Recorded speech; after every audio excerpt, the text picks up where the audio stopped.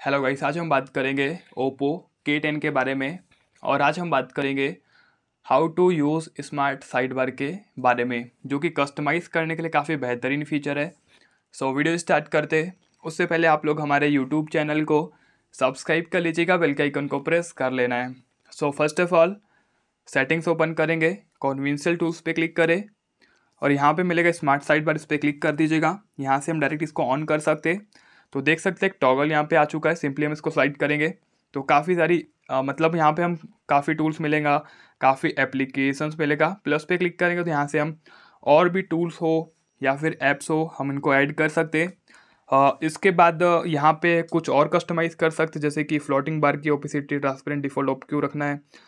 Full screen hide होना चाहिए तो वो हो जा वो कर सकते आप लोग।